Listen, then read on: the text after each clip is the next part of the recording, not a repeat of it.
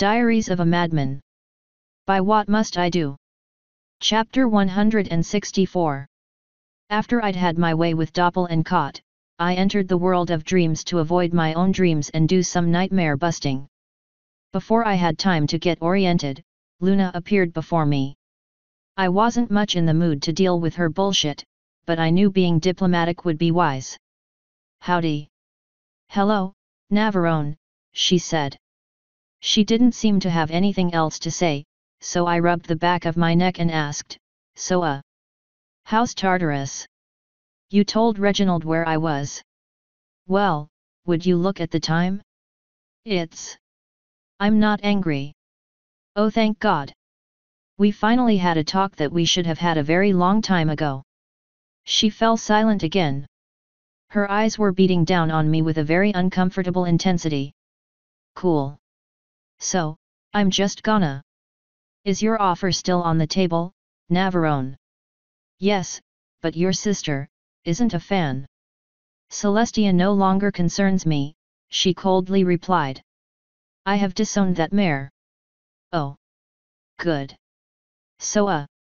What did the two of you discuss? The past. The present. The future. You. My sister. The world. Discord. Each other. Anything that's my business. She started walking around me, circling me. I let her and just continued facing forward. Perhaps. There is something you should know about Tartarus, Navarone. It is not just a prison. It is also a stronghold from discord. It has never fallen to him. Part of why I came here was to lend them my strength for when discord returned. Now that I know for sure that it has happened, I know that I am needed now more than ever. The time for self-hatred is over. He paid us a few visits recently, I replied, crossing my arms. He turned Celestia into a filly and then a foal. He also stole her horn. She snorted. I pretended to be her until she got turned back. Apparently he also created me. I'm working to free myself of his grasp. That explains much, she slowly replied, still circling me. Why I lost myself so heavily to you. You were designed to make my sister and I fall. Not willingly, I assure you, I hastily said. I had no idea he made me until just recently. Hum. The pain you felt was real. The sorrow and suffering you experienced would be impossible to fake. I am sorry for everything you have been through, Navarone. And I cannot help but feel the need to apologize for all that remains, as well. This is not a path we willingly tread. She finally stopped in front of me, uncomfortably close. This is not a path any of us can tread alone. I am ready to stand with you if you are prepared to have me. Luna. Are you sure you want to get involved in this fight? I asked, placing a hand on her shoulder. You have a chance to sit back and watch. No one would blame you. My image may be shattered, my reputation, tarnished, but my place is still with my ponies. I will not sit idly by while that monster destroys them. My hand pulled back and my arms crossed again. Celestia might oppose us. I'm trying to redeem her, but she has a long way to go. I think she's planning on double-crossing me when I bring her all the elements of harmony. Her eyes flashed and her horn lit up a sickly green. I put that mare in power with a smile on my face. In return, she gave me agony. I will enjoy toppling her from her place. As a last resort. The light around her horn vanished and she looked away. As you wish. Luna, she sighed and hung her head. I slowly walked forward and hugged her. I will help you overcome your past. I will help you discover something good inside of you. Reginald made me a promise, Navarone, she quietly said. He told me that if you forgive me after we have finished in Tartarus, he will leave Pyrite's service and return to my side. I will do whatever it takes to earn your forgiveness. Did you love him? I don't know. My mind was, addled, then. I was too focused on the wrong things. I never stopped to reflect. Not until. I had no choice. Not until I found myself alone for 1000 years. It gave me time to reflect on who I was. What I had done. Of course, as soon as I was freed, I felt myself attaching to one who I thought could understand my pain. One who also found himself, very much alone. I used you to abate my loneliness, to mask my pain, to hide my suffering. And in turn, I inflicted it all upon you. I consider you my biggest mistake. Some part of me still hopes I'll wake up one day to discover it had all been a horrible nightmare that I was forced to watch. To know that I did those things of my own accord, sickens me. Discord has been free since I came here, I said. There's no telling what he might have done to who, including you. I will not hide behind that excuse, she replied, pulling away from my hug. My failures are my own and I will make up for them on my own. With the assistance of you and my one remaining friend, I will drag myself out of this miasma. I think you're gonna have a lot more than one friend by the time this is over. She smiled grimly. I'm looking forward to it. I'm looking forward to all of this being over with. I've fought for so long. I just want some peace for myself and my friends. I'm afraid that we live in interesting times, Navarone, she said. Yeah, they're pretty shitty ones. Watcher expressed concern about working with you. In a different time, that stallion would have served me very well. I will seek him out in his dreams. Alone. I want him to see my sincerity. I understand. The two of us fell silent. Honestly, I didn't know what else needed to be said. So Discord created you, she finally asked. That's what he said, I replied with a shrug. Twilight could never show me the spell that she used.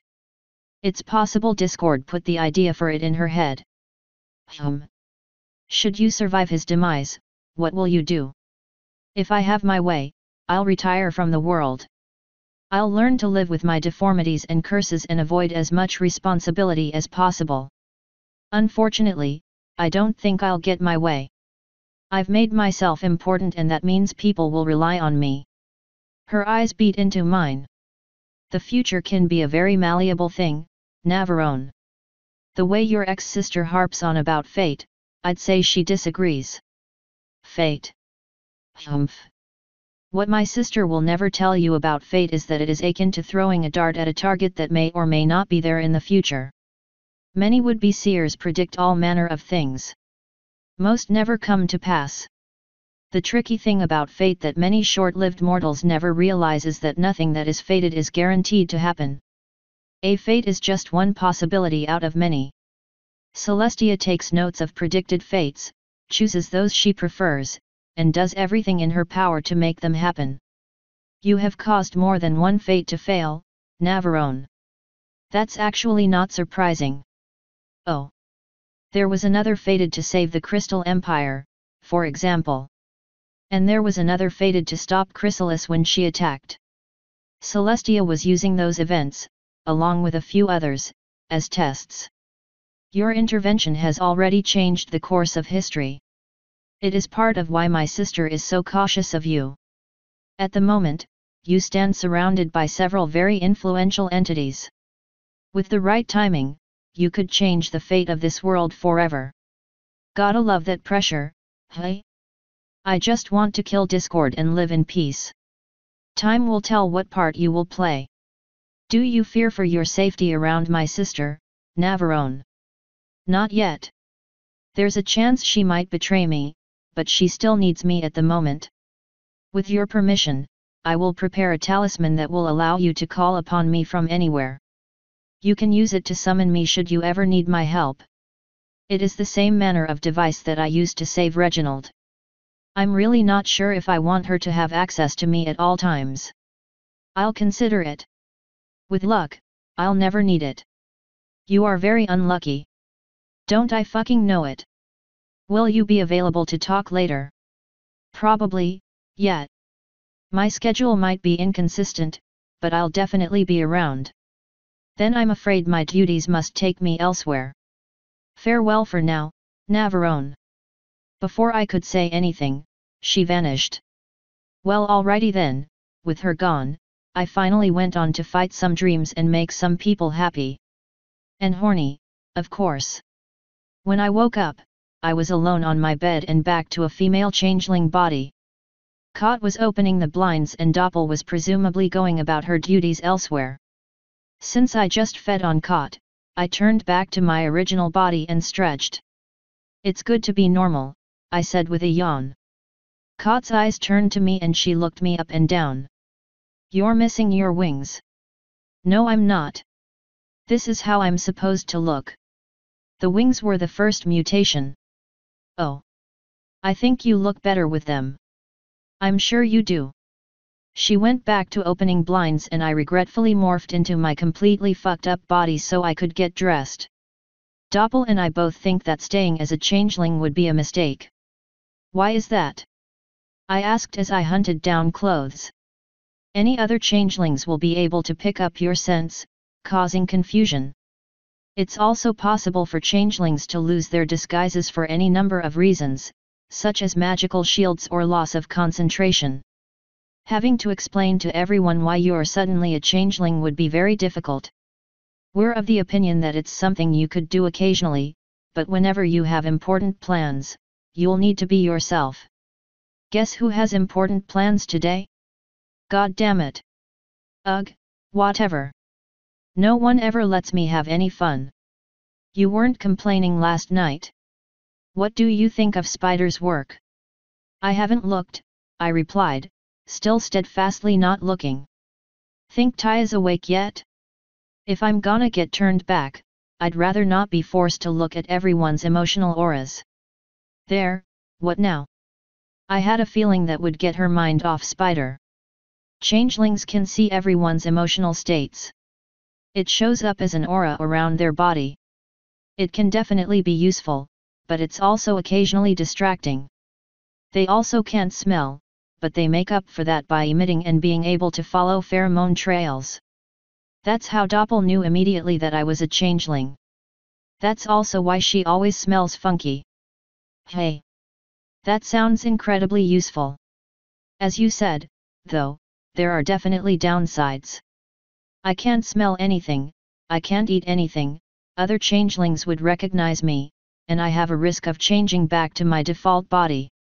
I'll probably take advantage of it intermittently, but I guess it's not something I can do permanently.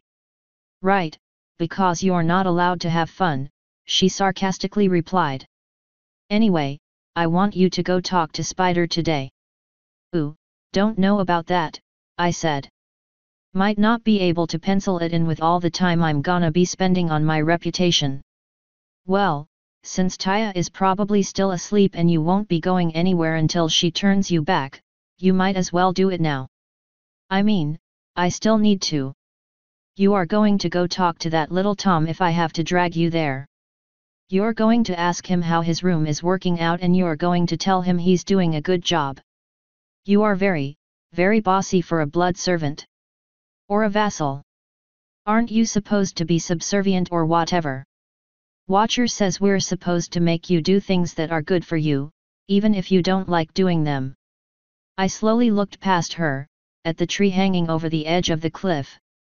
How's talking to a child about architectural design good for me? Don't play dumb with me. You need to form a better relationship with him and you need to stop being afraid of him. I'm not. Nav. Please. God damn it. Fine. Whatever.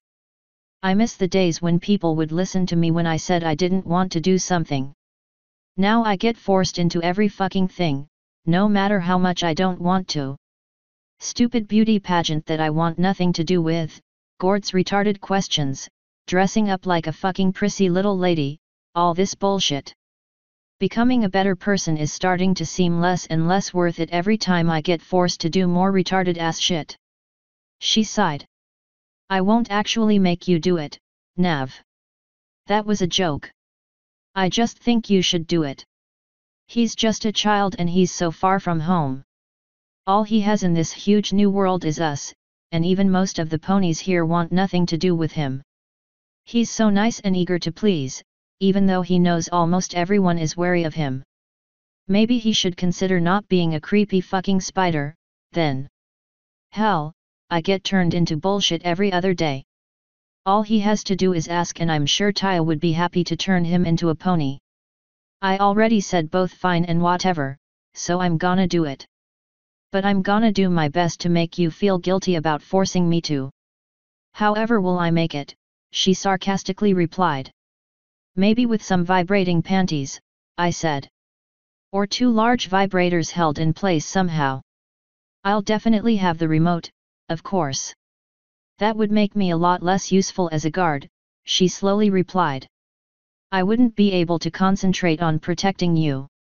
Well, it's a thought for the future. I grabbed a heavy coat and walked over to the door leading out. When I got to it, I looked over at the tree. You sure he's awake? Nav, you're watching him move around. Yeah, I totally was. He had filled a pretty good portion of the weeping willow with his hot sticky wads and was working on shaking snow out of a new part of it. A part of me wondered how he was staying warm. A darker part of me wished he would freeze to death so I wouldn't have to deal with him anymore. I shushed that part of me with a sigh and opened the door. A blast of cold air slapped me in the face as I stepped out onto the snowy staircase. Since I didn't want to slip and break my neck, I flew off the edge and down to the ground. There were a few well-beaten snow paths all around the yard. I picked the one that Spider made with his eight shitty legs and began walking to the tree. When I finally got to the cliff, I realized I had no idea what to say. Thankfully, Kot gave me a pretty easy script. You haven't frozen to death up there, have you? The poor kid jumped at my voice and almost fell out of the tree and off the cliff, but managed to put his ridiculous number of legs to good use. Once he realized it was just me, he scampered down to a lower branch. His aura was bright yellow. I do not feel the cold, high mistress, he said. Before I met Kot, I did not even know temperature existed. Wonder why they're immune but changelings can't handle it. Weird.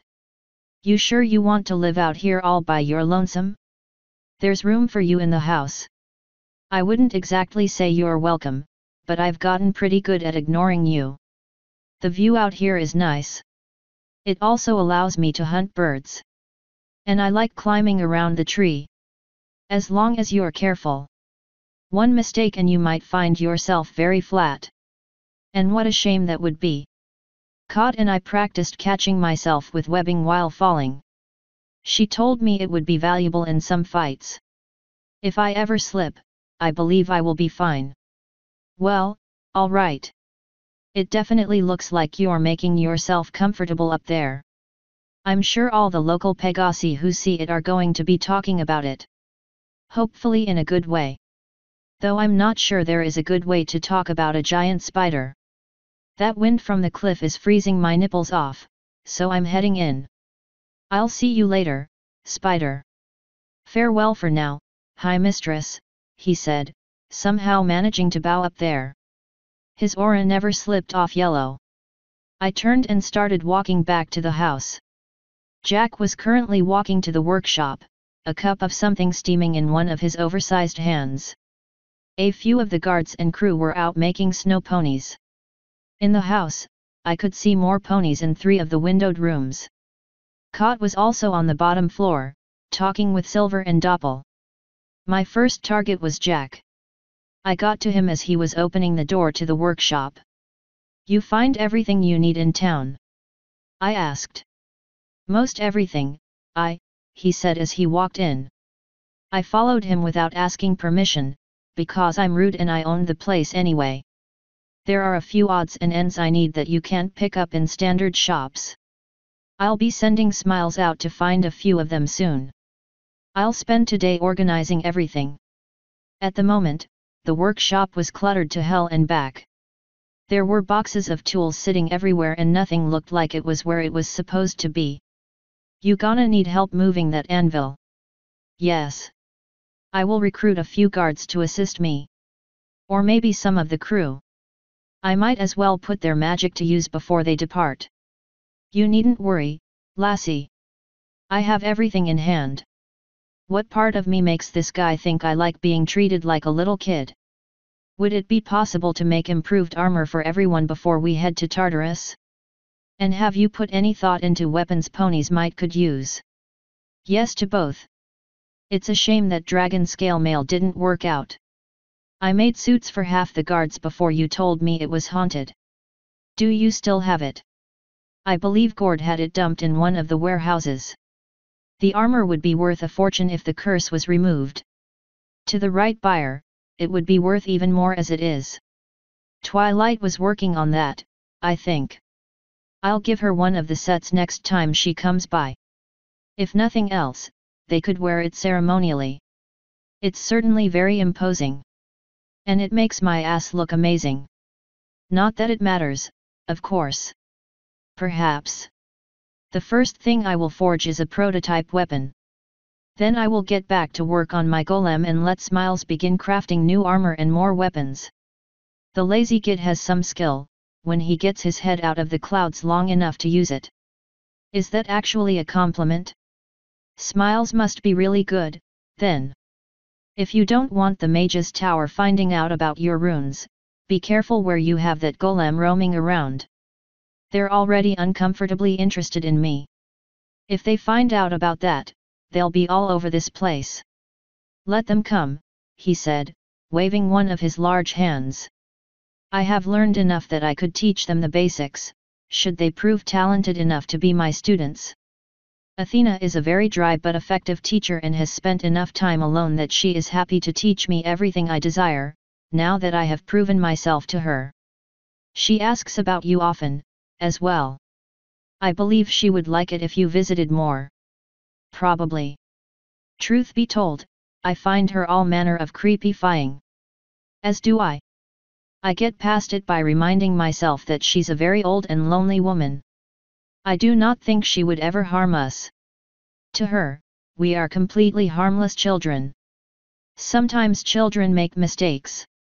You do not harm them if they do, you just rebuke them and teach them a lesson. Yeah, that's the part that worries me. I don't want to get turned into a newt. He slowly lifted an eyebrow.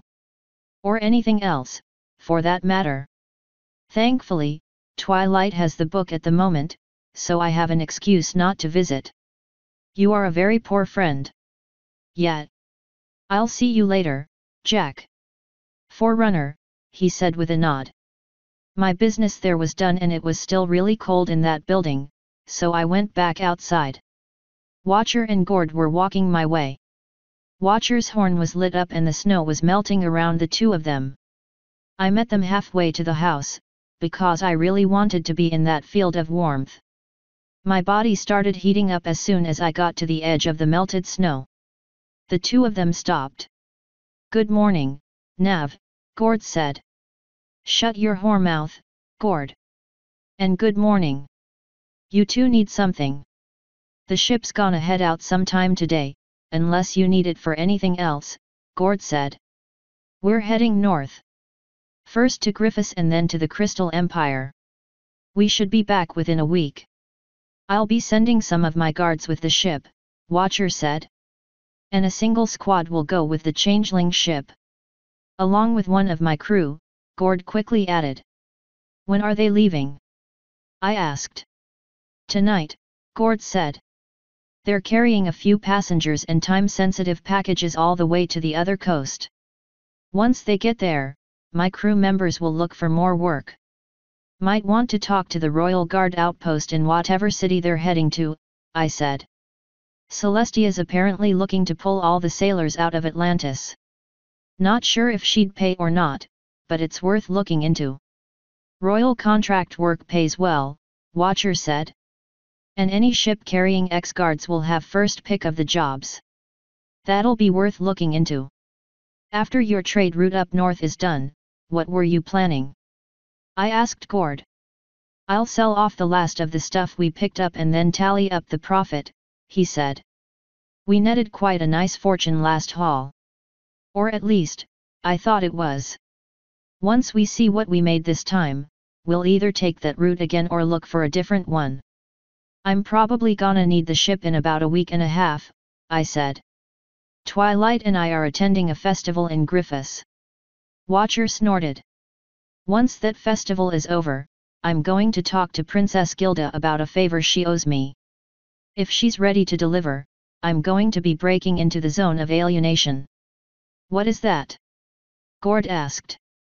A, very dangerous place, Watcher slowly replied. A very dangerous place that we have no business in. What could possibly possess you to try your luck there? It's where Dr. Anonymous created everything you know, I said.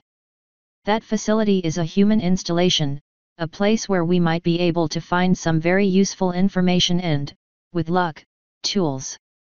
It's guarded for a reason. I want to know why.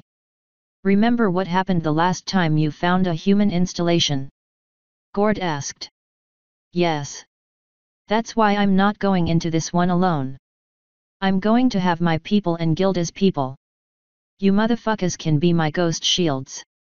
Glad we mean so much to you, my lady, Watcher sarcastically replied. Do you have any information about the target? None at all. Hell, I don't even know where it is. I'm hoping Brooke, Gilda, or Twilight will be able to fill me in. Any info you can find would also be useful. I'll see what I can find, but no promises, he replied. Anyway, the reason we came out here was to ask you something, Gord said. We want you to talk to every pony. Specifically, we want you to fill the guards and crew in on what exactly is going on, Watcher said. What we're doing in Canterlot, what your plans are while we're here, when we're going to Tartarus, what exactly we're doing flying around all over the place, everything you know about Discord, and any future plans you might have. With the bonus they're about to get and with no real plans or information, some of them are thinking about jumping ship. I'll give everyone a few hours to wake up, get some food, and get moving around, I said. Then we can get them all together and talk to them. It'll also give me time to think of something to say. I don't suppose you know how to turn someone into a human. I asked Watcher. I'm afraid not. Who do you want to turn human? Me. I'm currently a changeling. I guess I'll have to wait until Taya is up. Or go visit your favorite princess, Gord said with a grin. I'm not going all the way to the Crystal Empire for this. I'd sooner visit Twilight or Celestia. That's not what I. Never mind. While you're traveling, keep an eye out for anyone looking for maid or butler type work, I said. I doubt too many people will want to displant themselves to come all the way to Canterlot, but you never know. You got it, Nav, he said with a nod. And I've been keeping an ear out as well, Watcher said. No luck, so far. There has to be someone out there desperate enough to work for me, I sighed. We just gotta find them. When are you doing that interview? Watcher asked. Clearing the air and getting rid of some of those rumors about you might help. When I get back, I said. I got too much on my plate, otherwise. I don't have time to set up an interview. Not to mention that I really don't want to. I'm sure they both probably realized that, but were thankfully loyal enough to not say it. Your plate's full enough, Gord said. I'm sure Fleur would be happy to set it up. Fleur has her own hands full, I sighed. I don't suppose I could just waltz up to a newspaper writer and tell them I'll do an interview. You would have to pick the right one, Watcher slowly said.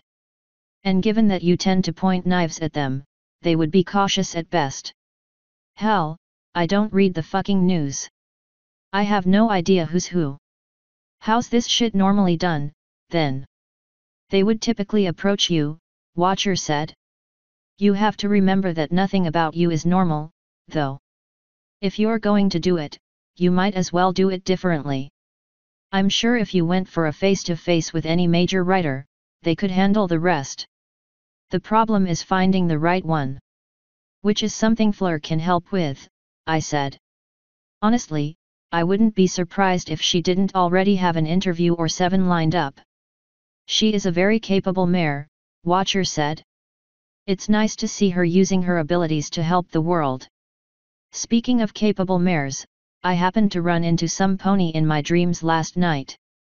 Sounds like a hell of a dream, Gord said, a naughty grin coming to his face. I spoke to Luna last night, I said. She told me she would speak to you. I guess she did. She did, Watcher said with a nod. She has done some very morally reprehensible things.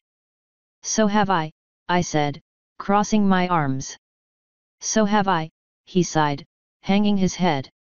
At the moment, all of us share a common enemy and a common goal. I will work with her. You will have to talk the others into it.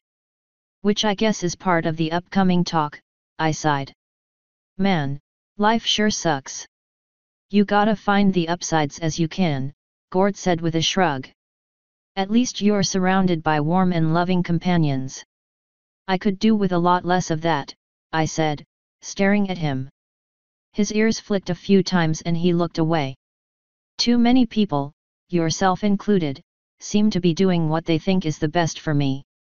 That's what friendship is, Watcher said. Companionship means doing things for others that they might not think they need. Everyone's been plotting behind my back. You're being paranoid, Gord said, waving a hoof. It's not plotting, Nav, Watcher said. You just don't recognize it because you've never been around it before. This is how a normal noble's house operates. The vassals and staff all work together to make sure the noble is at their best at all times. We aren't plotting against you, we're working together to build you up. This is something that most ponies are either born into or they never see, Nav. We're all doing our best to make it work. I know that it's frustrating for you, but everything that we do, we do for you. We've all been together on the ship for a while, Gord said. We've had plenty of time to talk. But that's all it is, Nav. We aren't, you know, plotting, or anything. I'd be a lot happier without a few contracts in my name, I said. His ears shot straight down and he rubbed the back of his neck. That wasn't so much a plot as it was, well, a stroke of convenience. His ears popped back up and his eyes met mine. But it was just me. And you should be thanking me. Give it some time, Watcher said. Everything will fall into place. We'll settle into the house, we'll start working together more in Canterlot, we'll get to know each other even more, and we'll finally get what we all want. Way to make that sound ominous as shit, I said, shivering slightly. What I want is to sit up in my room all day, doing nothing. With a few sides of really kinky sex, maybe. Who am I kidding? Definitely lots of kinky sex. Though I had a feeling that was going to happen whether or not I got my way in the end. If that's really what you wanted, you wouldn't have run into all of us, Watcher said. Hey man, I didn't ask to be created by the literal antithesis of life and creation. What I want and what I get are two very different things. He rolled his eyes. Fine. If you let us do our jobs, we'll all get what we all need. It may not be what you want, but I'm sure Discord would be happy to unmake you if you asked. Maybe. He seems like an extremely unhelpful person. They both sighed. You've been through a lot, Watcher said. Do you know how much of what happened was caused by him? No fucking clue, I said. According to Athena, Discord cursed the Middle East, where the lambs are. My entire time in Egypt could have been his doing. There's no telling what else that bastard could have done. Watcher grabbed me with magic and pulled me in close enough to tap me on the forehead with a hoof. There's no telling what he could have done here, Nav. He let me go and I stood back up. You don't know who or what you really are. You don't have a soul and you were made by discord. We are not your enemies. That, thing is. Let us help you fight it. But more than that, let us help you. When that thing is dead and gone, we want to celebrate with you at our side. You're our lady, Gord said, nodding. Everything we do is for you. I would appreciate if you'd remember that. I'd appreciate you sucking my cock, but I don't have one anymore. I will do my best, I said. Good, Watcher said. You keep acting out, and we'll tell Twilight on you. Ugh, you too. I sighed. It was enough that Taya. It's most of us, Watcher cut in. To save you some breath. Not me. Gord said with a grin. He still has his hopes up, Watcher said, swishing his tail. The poor guy blushed bright red. I, happen to think you and Fleur make a very good couple. Several of my guards agree about that, Watcher said. I've heard more than a few of them whispering about how they wouldn't mind seeing it. I don't think they were talking about a relationship, though. Well, hell, all you bastards are ugly as sin to me, I said with a shrug. I've been here, what, seven years? I still don't know what any of you guys find attractive. Curves are a big bonus, Watcher said. Fleur is most definitely a curvy mare.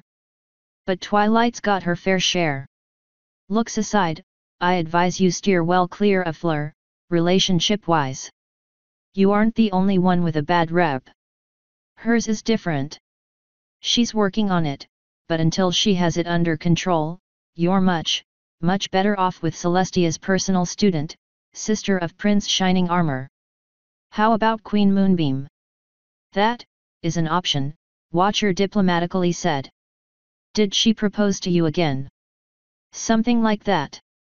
I made an agreement for her help, should something come to pass. I hope I never need it. I'm not moving to a changeling hive, Watcher said. I'm certainly not looking forward to it, I said. But it would be better than the alternative, should it come to that. He knew better than to ask. If you say so. Before he could continue, one of them suddenly grabbed me with magic and yanked me toward them. I quickly found myself behind Gord and Watcher and in front of a dazzled cutie dream, who was in a heap on the ground where I had been standing. The three of us stared at her for a moment before looking up. There was nothing that indicated where the hell she came from. Our eyes moved back down to her. She managed to pick herself back up and was looking at me with the standard insane grin I've come to know so well. Good morning. I see you moved in quickly. Yep. Is there some part of paperwork that we missed or something? Nope. Sylvie's great at her job. She sure was in a hurry to leave, though. She didn't even stop to tell me when she wanted the next date. Gord and Watcher looked at each other for a moment before looking back at her. She's inside, I said, crossing my arms. But I wouldn't get your hopes up. Oh, Pshaw, she said, waving a hoof at me. I won't let you stand in the way of true love. Now, my pretty little pent-up filly needs her kisses. She started trotting to the door, wagging her tail. Go with her, I said. And be ready to toss her out on her ass. You got it, Watcher said. Gord sighed and the two of them began tailing her. I looked up at the house. Silver Quill was still in the sunroom, along with Kot and Doppel. They hadn't noticed Cutie yet. I was kinda looking forward to seeing how that went, but I would much prefer to hear it secondhand rather than see it in person. That comforting and lazy thought in mind, I unfurled my wings and tried taking off. I couldn't get enough lift, because my wings are fucking garbage and I was wearing too many layers. Instead, I walked over to the cliff and hurled myself off like a madwoman. After about a hundred feet, I decided I made a mistake and flapped my wings. Instead of doing myself and the world a favor by breaking my neck on impact, I flew back up and circled around to carefully land in front of my bedroom. Kot left the doors unlocked for me, thankfully. I kicked the snow off and let myself inside like I owned the place. It was a hell of a lot warmer in there. I sighed and began stripping out of layers. Some part of being a changeling made me really not like the cold. Once I was situated, I sat in my chair and thought. My thinking was interrupted some time later by my door opening. A part of me wished I had been doing something naughty, just to make whoever opened it feel bad for not knocking. Then I saw that it was Taya and I decided sitting in my chair wasn't too bad, all things told. Her aura was bright pink. When's the last time I let myself in your room without knocking? I asked. Two days ago. Oh yeah. Alright, fair enough. She walked in and closed the door behind her, then continued walking toward me. Do you know the spell to turn someone into a changeling? Um. No. Should I? See if you can learn it. Until then, do you know the spell to turn someone into a human? Of course. Good. Cast it on me. She blinked. I'm a changeling. She blinked again. Long story. Just do it. Thankfully, she did it. Her aura disappeared and I suddenly saw a glow around her horn. It died down and she nodded. That should do it. I closed my eyes and tried turning into a tentacle monster. To tickle her, of course. When I opened my eyes, I was still a fucked up looking human. That did it. So why were you a changeling? she asked. To pretend to be Celestia. Discord turned her into a filly and took her horn. I had to pretend to be her until she got fixed. That wasn't a very long story. So, you ready to start exercising? I'd like to hear more of the story. Let's get you exercising. She groaned and hung her head. Since I'm a good mother, I didn't make her run alone. Instead, I forced a few of the lollygagging guards to keep pace with her. I sat on the edge of the rainbow fountain and watched. It was a lot more fun than running, that's for damn sure. While they were doing that, I peered back inside the sun room.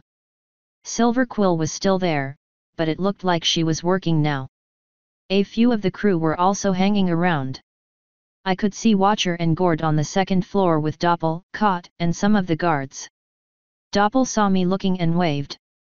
I lifted my hand up to my face, shoved my tongue between my fingers, and made lewd gestures with it. She smiled and went back to paying attention to the others. This house has so much dead space, I idly mused, reaching down to play with the rainbow liquid. It was comfortably warm and surprisingly thick, though it slid off my fingers with no problem. Fill it, an uncomfortably familiar male voice said. I groaned and dropped my hand. I looked around, but didn't see the bastard anywhere. In here. Every part of me was telling me not to look. For once, I actually listened. I got up and tried walking away. Before I could even lift a foot, something grabbed me by the throat and forced me back in front of the fountain. It dragged me closer, pushed me to my knees, and made me look into the fountain. Instead of my own reflection, I saw Discord's face staring up at me, with his own talons around his neck. You've got quite a lovely home. I spit in the fountain. That wasn't very nice. I'm not a very nice person. So I've seen. You do have your moments. Are you actually here for a reason this time, or did you just want to say hi again? I always have a reason for visiting. Would you like to know a secret? Are you going to tell me even if I say no? No. Then sure. One of your guards has a crush on you. I stared at him for a few seconds. He stared back. Thanks. You're welcome. So, you come here often? No, actually. I don't like doing reflections. It's too easy to get lost. They do make quite a statement, though. Hey, while I have you here, I was wondering if you could turn me into a guy again. I could. Well, will you? He blinked. Well, I would have, if you had asked nicely. But your tone was very insincere. Honestly, I don't feel that welcome here. Pretty please with sugar on top. Hum. No, no, I don't feel like it anymore. You ruined the mood. You're kind of a dick. I get that a lot. He suddenly looked to his side and then rolled his eyes. Welp, gotta go. Hope you don't mind the goodbye kiss. His talon went from his throat to the back of his head and he forced my face into the fountain, cackling like a hyena. My hands went to the side to try to push myself back, but he was holding me down. My legs and wings both started flailing as I tried to break free and pull back for some air, but his grip was too strong. Something grabbed one of my shoulders and pulled, but I still didn't budge. Something else grabbed the other shoulder and also pulled. Finally, something grabbed my entire body and yanked me out. I flew back and fell into the snow, sucking in air. What were you doing? Taya yelled, getting all up in my face. One of the guards grabbed her and pulled her back. Give her some space. Let her get some air. D discord. I panted. Fountain. The guard who wasn't holding Taya back looked in, though I don't know why he bothered. You sure about that, ma'am? Yes. The one holding my daughter let her go and she got right back in my face. What did he do to you? I think we just saw what he did, one of the guards said. When I tried pulling you back, I couldn't. He tried drowning you. What a jerk, the other guard said as Taya slammed me back onto the ground with a hug. I hugged her back, but a part of me was wondering how long she was going to make it, because the ground was really fucking cold. Get Watcher, I said. Tell him to round everybody in the house up. Get them all downstairs in the sun room. You got it, my lady, one of them said. He trotted off. The other one pawed at the ground. I ain't goin' nowhere, my lady. Not sure what good you'll do, but at least you're here. I finally sat up and forced Taya back so I could stand. Her horn lit up and she forced all the snow off me, then dried me off. There were rainbow splatters all over the place. My eyes traced them back to the fountain and I noticed a rainbow chain leading up to where I had fallen. I pushed Taya back and took a closer look, thinking it was just a trick of the eyes. Sure enough, the rainbow liquid was poured very purposefully to look like a chain. What are you looking at? Taya asked. I blinked and it was gone. All the rainbow fluid was dotted about randomly. His laughter rang in my ears again. Nothing, I replied, kicking snow over the splatters. After a second, I sighed and said, that was a lie. He made the rainbow bullshit look like a chain leading up to where I fell, then made it disappear when you asked. Then he laughed at me. The dude is legit in my head, in a bad way. She pressed against my side. That sounds like him. Don't let him get to you, mommy. That's just what he wants. I know. Let's go. The three of us walked back into the sun room.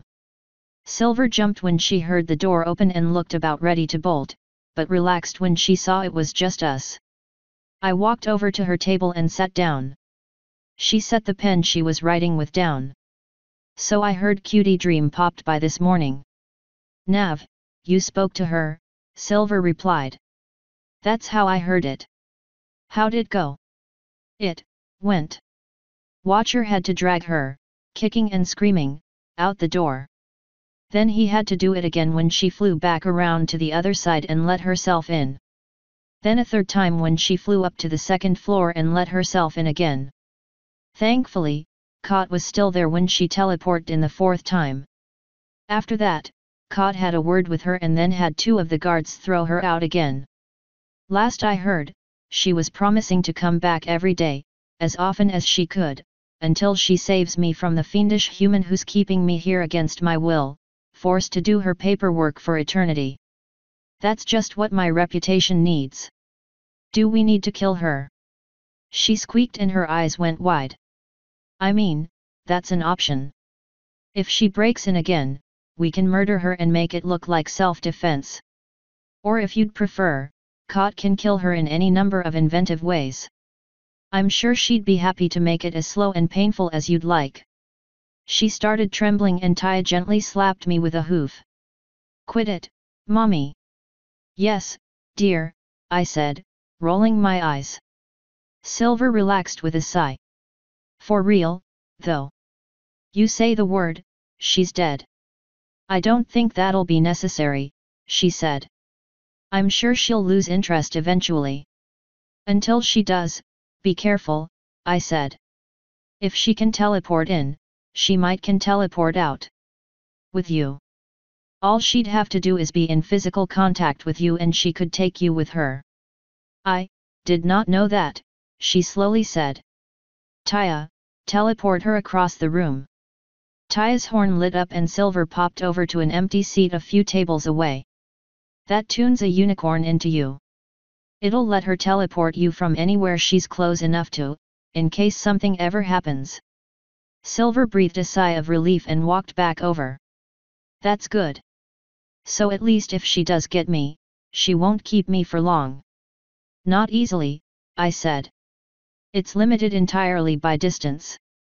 As long as we were quick enough, she wouldn't have a chance to move you further than we could get you back. Well. I'm sure she won't go that far.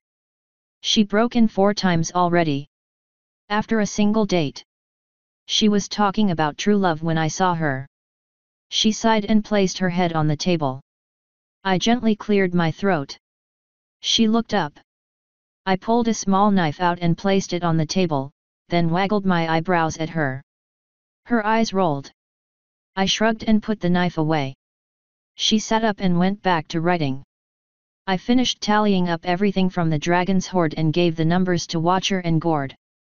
I'm working on a manifest for Gord now. Cool. A few guards wandered in and found seats. I'm about to make an announcement in here. If you're in the middle of something, you might want to leave. I'm not, she said. What's the announcement about? Just an update, I said with a shrug. Some of this and that. Nothing too big. Then I'll sit it out, she said with a grin. Assuming I'm welcome, of course. By all means, I said with a shrug. More people were starting to wander in, so I stood up. I'm gonna go position myself dramatically. You do that, she said with a nod. Taya followed me up to the bar. I crossed my arms and leaned against it, facing the room and waiting. It looked like half of everybody was there. So what's this really about? Taya whispered. An announcement, I said, tousling her hair. Something of this and that.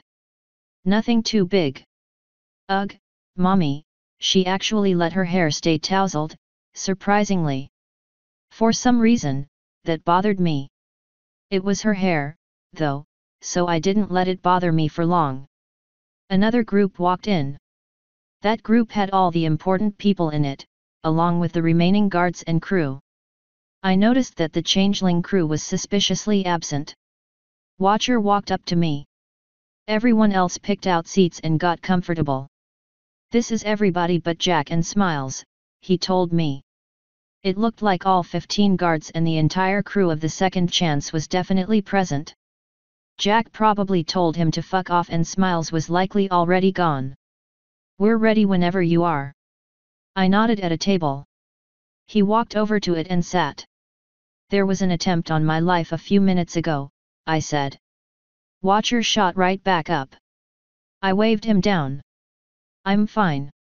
The thing that attempted it is out there waiting, watching. Every single one of us, and every single piece of intelligent life on the planet, is in danger. It is called Discord. It's a magical entity that feeds on conflict to grow in power. Celestia had it imprisoned for a while, but it broke free recently. To put in perspective what kind of threat this thing is, I know for a fact that it's responsible for billions of deaths. That caused some whispers. Yes, you heard that right. Billions. This thing is as old as the humans. To put that in perspective, it was some untold number of eons ago. Every so many thousand years, this thing breaks free, kills millions or billions of intelligent life forms, and then goes dormant again. Ladies and gentlemen, we lucked out and get to meet this beast firsthand. I don't feel very lucky, Taya murmured. Last I heard from Celestia is that she's thinking about running. To anyone thinking of joining her, I advise you not to bother. As far as I can tell, he's omniscient. We either find a way to stop him, get lucky and survive whatever he has planned, or die what I'm sure will be a very horrible death. Or worse. The goal of this journey is to find something that will stop him. The elements of harmony did it last time, but I'm not holding my breath this time. Especially since he created them. I was hoping the elementals would have a plan, but they've proven to be worse than useless. Athena gave me a few ideas, but I'm not sure they'll pan out. Honestly, I'm not sure what it's gonna take to put this bastard to rest. A few throats cleared in the audience. I didn't blame them. We are in Canterlot right now to take some time off, I continued. I don't know about you guys, but this journey has been hard on me. I need time to adjust to my shitty new body. I have a lot of plans while I'm here.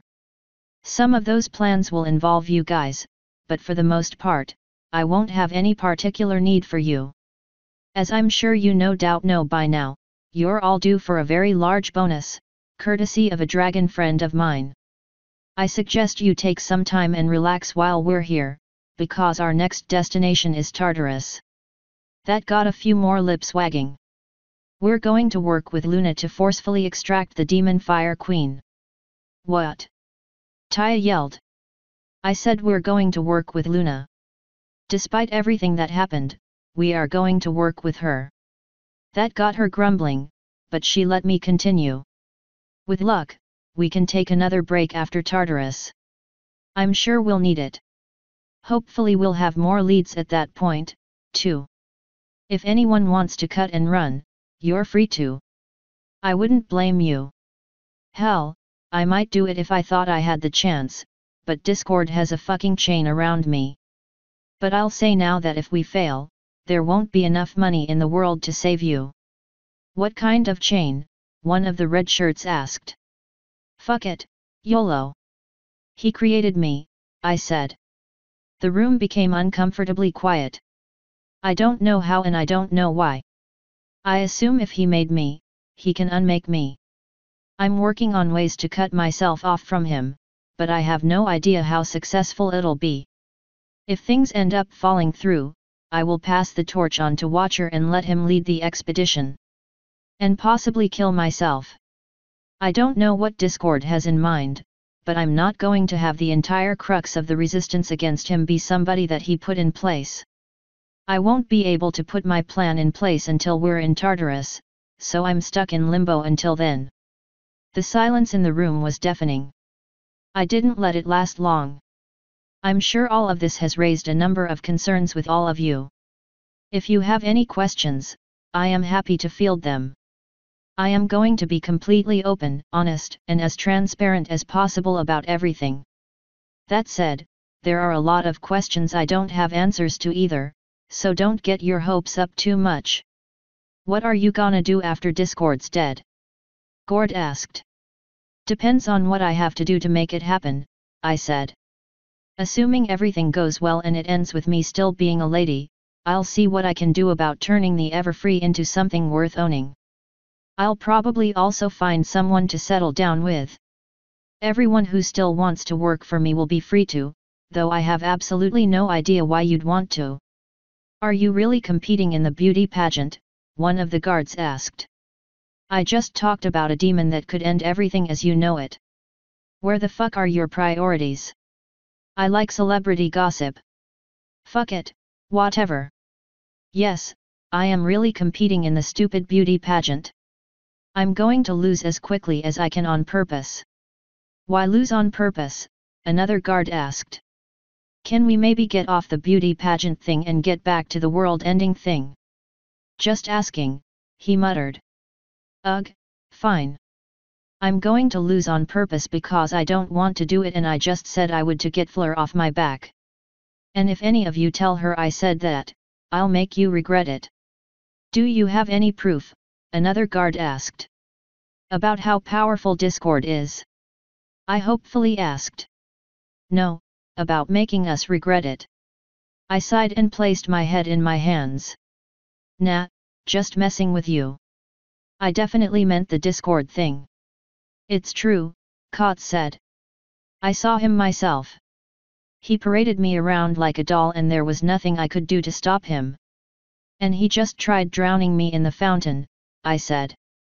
Though I honestly doubt he was trying to kill me. He was probably just being an asshole.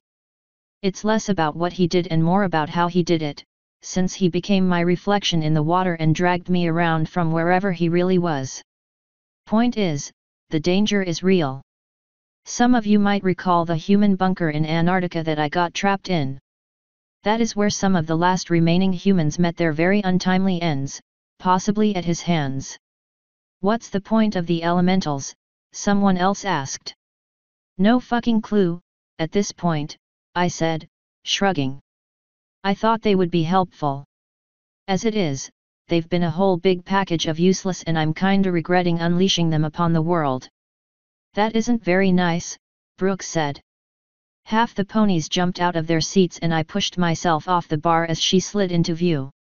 At the moment, her entire body was the standard blue. Apparently she had been hiding in the foyer and listening in. Neither is eavesdropping, I coldly replied. I just dropped in for a visit, but nobody was answering the door. I thought I'd let myself in to see why.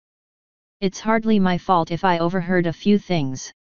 It's absolutely your fault for letting yourself in. What, very specifically, did you overhear? The first thing I heard was you saying that there was an attempt on your life. God damn it! I thought about making myself known then, but I didn't want to interrupt. That would be rude. As rude as letting yourself into someone's house. I asked. Perhaps. I have some questions as well, if you're still fielding them. I'm fielding questions for people that were invited to this announcement. I'll answer your questions when they are done. I am, if nothing else, very patient. If you were patient, you would have waited for someone to answer the door. A few of the guards snickered. She didn't reply. I looked back out at the peanut gallery. Anyone else got any questions? Brooke must have ruined the mood, because no one spoke up after a few seconds. I'm almost always open for more, if anyone wants to approach me privately, I said. Y'all just heard a lot, so I'm sure you have a lot to think about. For now, you're all dismissed. No one made any motion to move, so I decided to take the lead by walking out. Taya and Brooke followed me. I began walking up the stairs. Taya teleported up, because she's in bad shape. Brooke continued sliding behind me. When I got to the top, I found Taya waiting next to my door. I walked in and both of them followed me. You've got quite a lovely home, Brooke warmly said. That's literally, word for word, what Discord told me a few minutes ago, I replied as I walked over to my chair. Taya followed and sat at my side. Brooke settled on top of the chair across the desk from me. Hum. Yes, that is one of the things I wanted to ask about. So you've finally seen him? Several times, now. He's kind of a dick. I'm sure he gets that a lot, she replied with a grin. He does. About the most use I've gotten out of him is him telling me that he made me. Of course, that was more annoying than anything. I see. Have you considered my offer, Navarone? Yes. What do you know about the old Google bunker in Colorado? I know that is where Dr. Anonymous designed and built the new species and the genetic algorithms that led to life as we know it today. The water elementals were created in Europe, but weren't truly released until well after all the bunkers went permanently offline, so I never went to that one. I used to have all the information from all the bunkers in my head, but it degraded over time and now all I have are fragments. It's unfortunate, because I know that a lot happened then that would be very useful to know now, but I don't remember any of it. That bunker is still standing, I said. My crew and I are going there soon. We might need your help. I seem to recall you saying that we were useless. Did I? I mused. Yes. Oh. Well, we're going to the bunker with or without you. All the same, I'd prefer going with you. We would be pleased to assist, Navarone, she said, bowing her head for a short moment. Though there are not many of us nearby at the moment. Flo would like to know when you plan to visit her. When I feel like it, I said. Her eyes finally lost their blue hue and turned a few shades red. And by that, I mean it'll be some time after we get back from the bunker. Twilight's going to do some magic on me before I do. I probably won't wait very long after getting back. Of course, that magic might put me in a coma for the rest of my life, but whatever. Ah, yes. Aqua mentioned that before we parted ways. Such a thing is very risky. Are you sure it's worth it? Yes, I immediately replied. What are you talking about? Taya asked. Twilight found a spell that'll help me learn who I really am, I said. Despite any changes someone else might have made. That doesn't sound bad, she slowly replied. Your mother left out a few details, Brooke said. The spell will put her in a coma that she might never awaken from. What? Without help, I said. I might never wake up if I don't have help. There is another spell that will give somebody else the ability to help me should I falter, which means the coma won't last forever. I was planning on asking you, Taya. Of course I'll help. Then there's no risk, I said with a smirk. Taya beamed. Brooke didn't seem very pleased, but that didn't surprise me. That is your decision to make, Navarone. You said you have considered my offer. Have you decided to reject it? No. I've seen the merits of having a water elemental, especially these last few days. There are definitely upsides. I'm still considering it. I just don't feel comfortable making a decision until after Twilight does her thing. I see. I would like to make another point, then. Should you continue running into Discord, having me in your mind might protect you from some of his tricks. I will certainly add that to my considerations. You walk a very dangerous road, she said. Both on the ship and in Canterlot. You have enemies.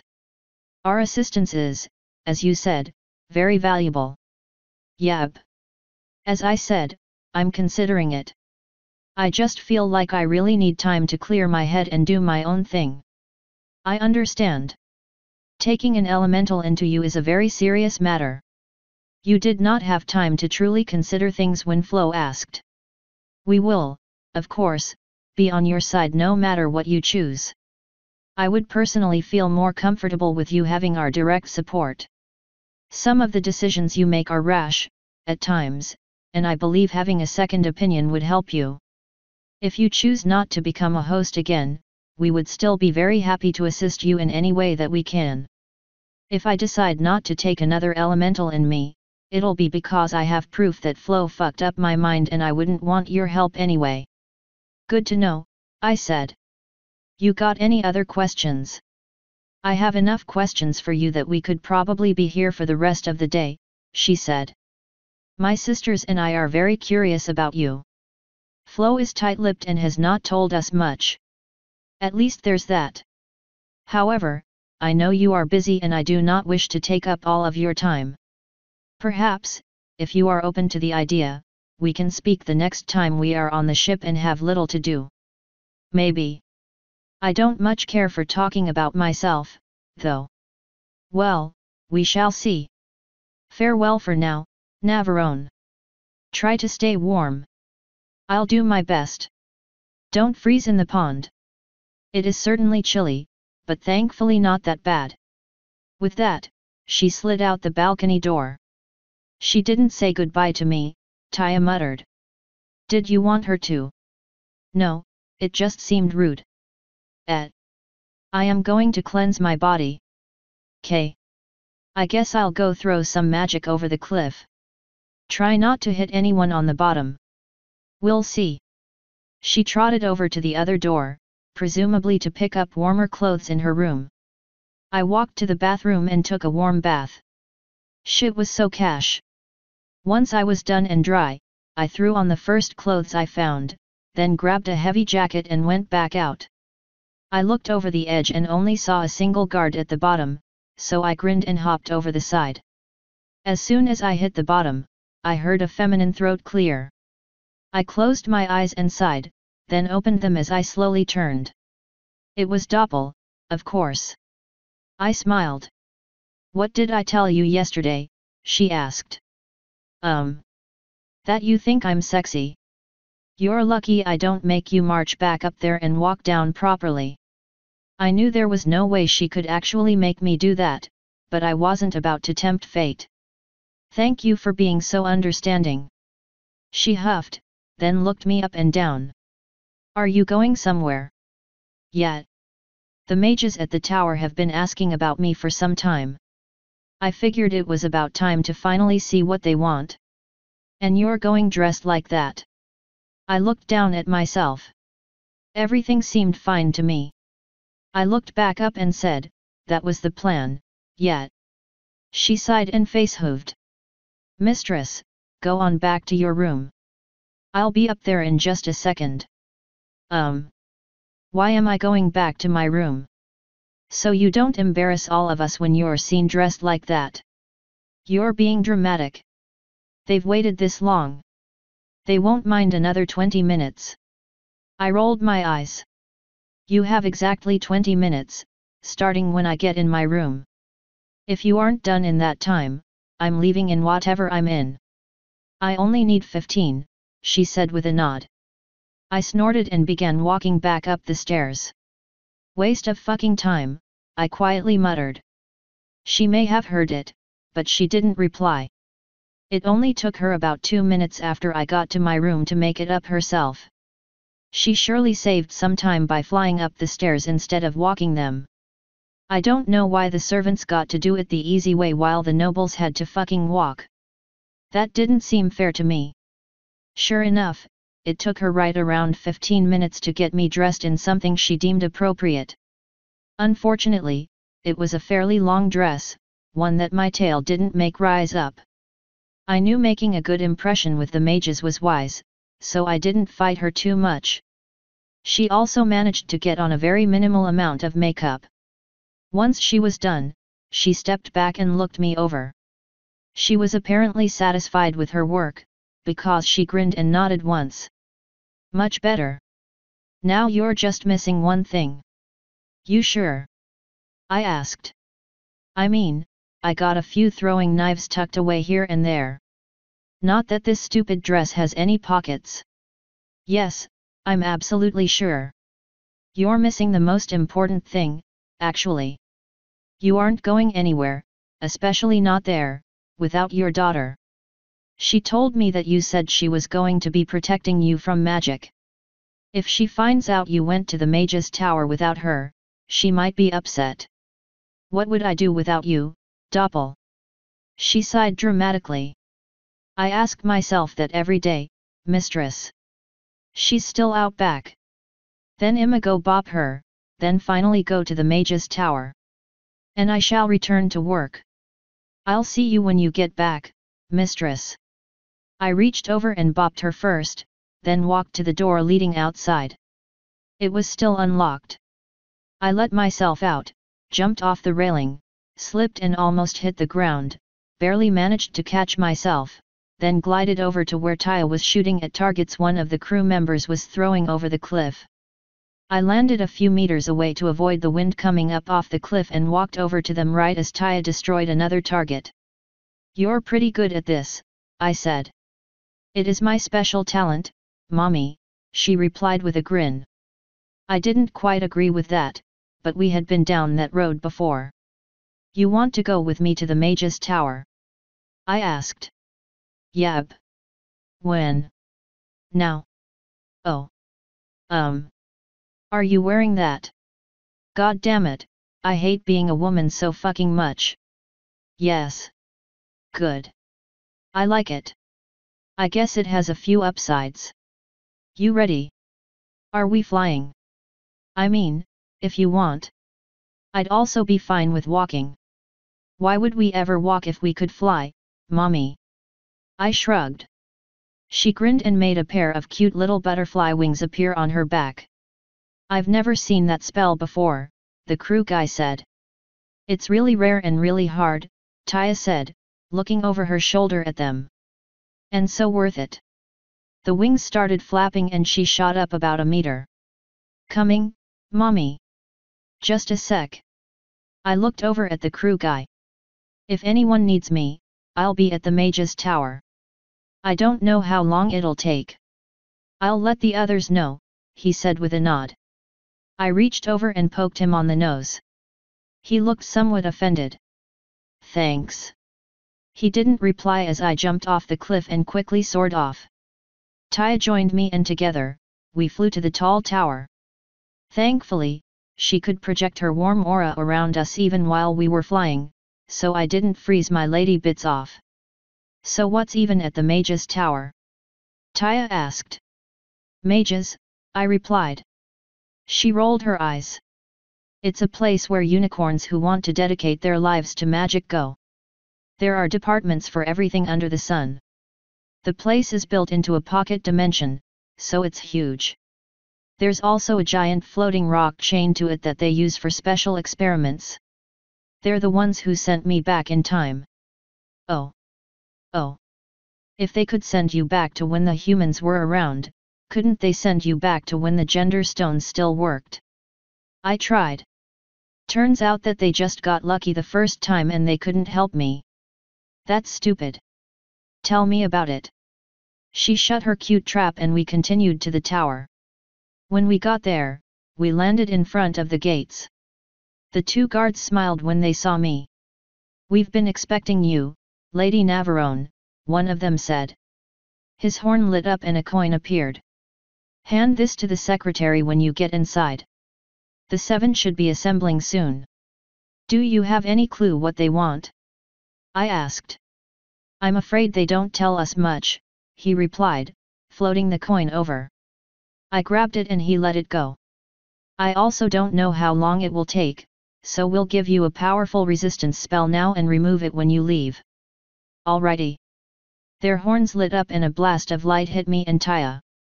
Her wings disappeared with a poof and I felt mine grow heavier. That should do it, he said as the light died down. You're free to enter. See you in a few, I said, walking past them. I've never seen magic like that, Taya whispered as we walked.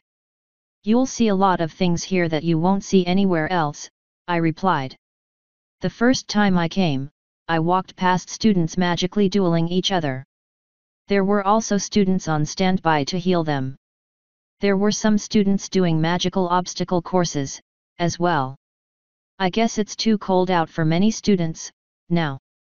A few classes were going on outside, but nothing too interesting. The only thing of note is that there wasn't any snow lying on the ground. It was all still charred black with craters every few meters. How many students were dueling? she slowly asked. I don't remember. They were doing it in pairs, though. They definitely looked like they were having fun.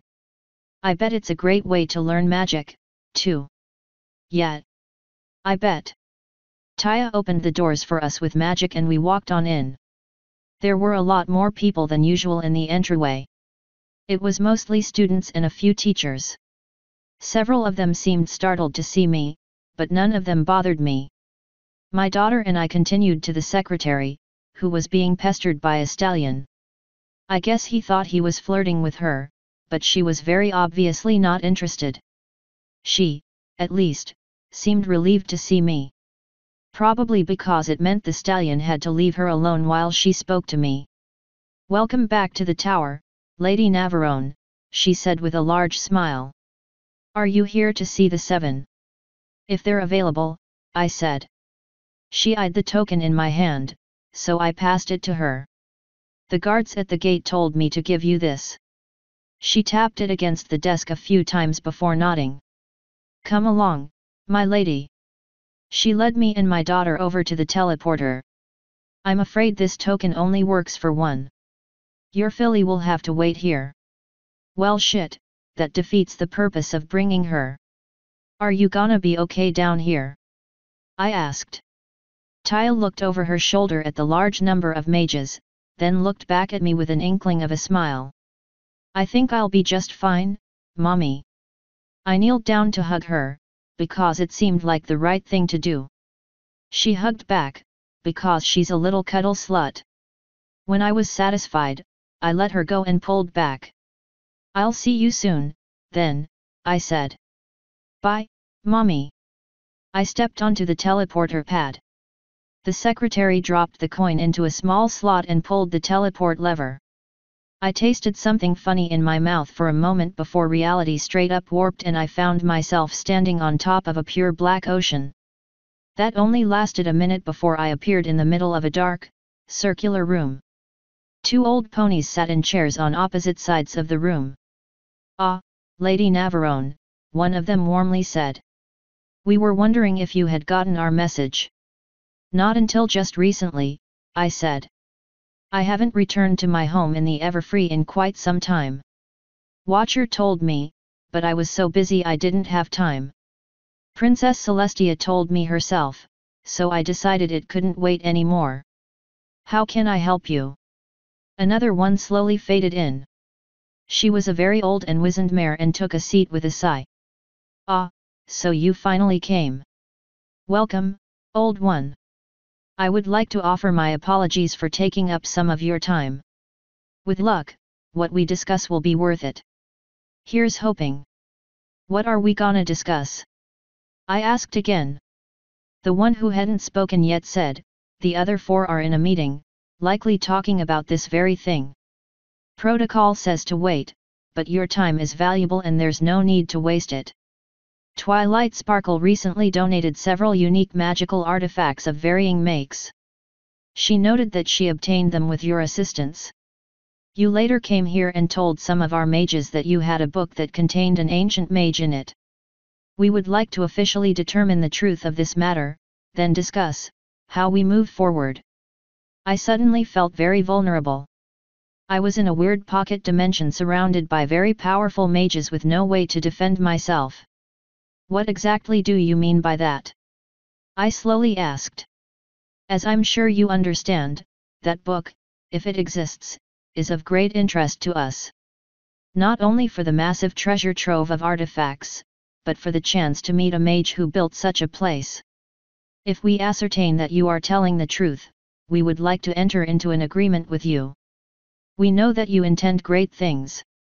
With our help, you could do so much more. That's a very enticing offer.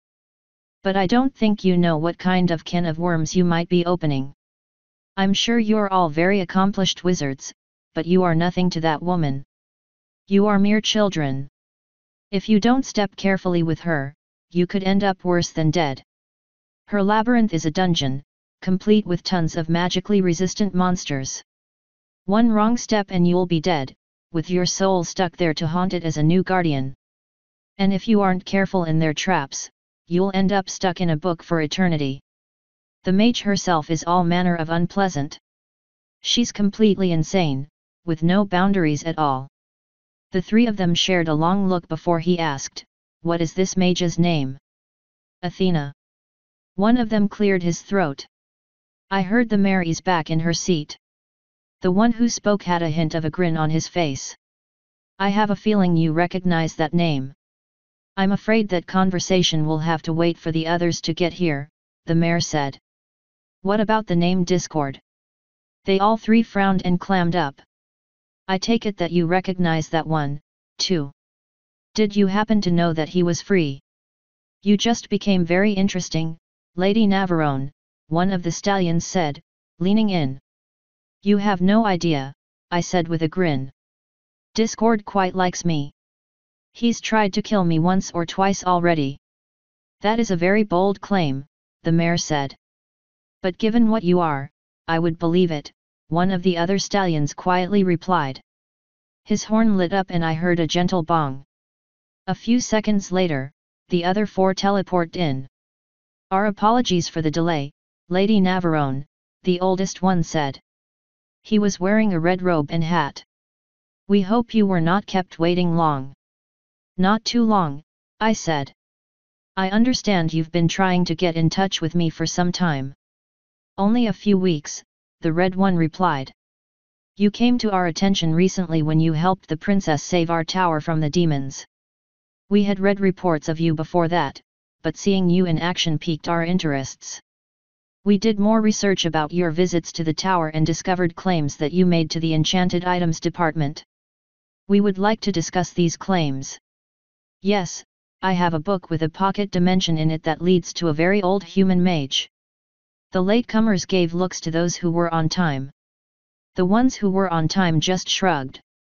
We discussed it with her, the mayor said. And we all believe that she's telling the truth. She knows the names Athena and Discord, and she claims to be hunted by Discord.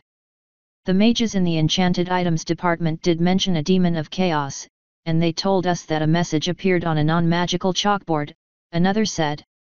Tell what you know of this Athena, the guy in red said. She's an old human woman that's been magically modified to look more like a bird. In my time, Athena was known as a goddess of wisdom. I think she was the same Athena, so she greatly influenced events in my time. Since then, she's been doing her best to fight discord every way she can. Her book was given to me from an old mare in a magical antique shop hidden in a pocket dimension. I fought my way through it with Twilight's help and almost died to a number of horrific, powerful enemies. We picked up books that were relevant to our interests as we went, discovering all kinds of things in the process. Describe her realm. It was a massive library full of roaming constructs covered in runes, very lethal monsters, hidden traps, and the entire thing was a maze. Every room we went into had four doors. The walls were lined with books and there were piles of them all over the place. There were also all kinds of relics, things left behind by dead travelers. Every time you went through a doorway, you appeared inside of a book. You had to act out characters in the book. The further off course you deviated, the more hostile the occupants got. Once enough time passed, you could leave and would enter a new room with new enemies. When we got to the end, we met Athena herself. She congratulated us and invited us to come back whenever we wanted. Since we've completed the maze, we can go back to her directly, with guests. So if you wanted to meet her, I could ask if she'd be interested. If so, I could introduce you. Give us one moment, Lady Navarone, the oldest one said. I nodded. His horn lit up, then immediately dimmed. There we are. He fell silent. So, do you need me to leave? We just paused time around you and discussed something. We have decided that we believe you. Cool. Do you want to meet her? Yes. But we would also like to discuss a few other things with you. First, would you tell us everything you know of Discord? Sure, why not? I proceeded to do just that, though I left out that he created me. He nodded when I was finished. So it seems that he is active again. This is, problematic. Yeah, it sucks hella hard, I said. Were there other gods in your time? The important one asked. Other beings of myth and legend. How did you know the name Athena? I asked. You're very perceptive, one of the originals sighed. It pays to be, in my profession, I said. You have records of her. It's more than that, the red shirt said. We have two more books like hers. I eased back on my heels. One is empty. We scouted it and pulled out all the artifacts ages ago. The being within was more of a warrior than a mage, however. We found references to Athena from there. We also found the location of another book, though we had no clue what was in it. We've sent several parties into it, but none have ever returned. The book hasn't been touched since I was just a little colt. Going into one of those things is a tall order, I slowly said. The person within could do anything they wanted. The entire place could be completely impassable instead of very dangerous. You could be trapped and starved to death, or be instantly killed by magic, or any number of horrific things. Entering Athena's book was an accident and we weren't at all prepared. We just barely got out, and I don't know if I want to go back into another one. One other fact that we discovered in the empty book is that these beings can speak to each other if the books are in close proximity. If we have Athena's book, she could speak to the other mage and learn about him. Think of what we could do if we had access to both. I'll discuss it with Athena, I said. That'll be her choice to make. If she isn't interested, you'll have to accept that. We never expected to force you, of course, he replied. When can you have an answer to us? Probably today.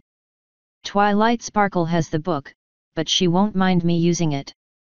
Twilight Sparkle, he slowly said. If possible, bring her with you when you return. Your experience is valuable, but you do not speak our magical language, so to say. She would be better able to tell us what we need to know about Athena's realm. I'll ask and see if she's available, I said.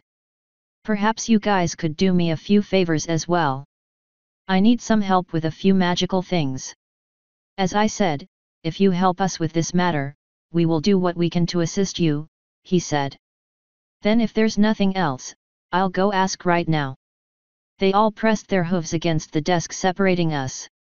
I appeared over the ocean again for a moment before my feet hit the teleporter pad. When I turned to face the other way, I saw that a good number of the mages were staring at me now. I guess it isn't every day that someone gets to speak to the seven. Those who weren't staring at me were talking to my daughter. When I saw that, I was expecting her to make a beeline for me as soon as I reappeared. As I walked closer, I realized she was actually talking back, and seemed to be fairly excited. Even better, a few of the mages she was talking to were around her age, and included a few colts. She was facing away from me, so she didn't see me walk up. The oldest mage there did happen to be facing me, and smiled when I got close. Greetings, Lady Navarone. Taya looked my way with a grin. Your filly has quite a lot of knowledge for some pony her age. She's been learning from a lot of really experienced mages, I said. Twilight Sparkle, a few ex-guards, and some ex-battle mages. So she's told us, he replied. You know, she could learn quite a lot here, if she's interested. Until just recently, our schedule didn't really allow for it, I said, crossing my arms. But we're going to be in Canterlot for a few months. If she's interested, would that be enough time to get her enrolled? And would she be able to come back if she had to leave when we continue on our journey? Taya's grin actually grew. Oh, of course, he said. We began a new round of classes with the new year, so if she got started today or tomorrow, she would barely even be behind. There is a high enough teacher to student ratio that we can typically tailor each student's lessons to their skill level, and pair them off with students with similar abilities. If she needed to leave later, she could pick the classes back up, though she would likely be behind. Our students are typically older, and have erratic schedules, so such a thing isn't uncommon here. And she could pick what she studied. I asked.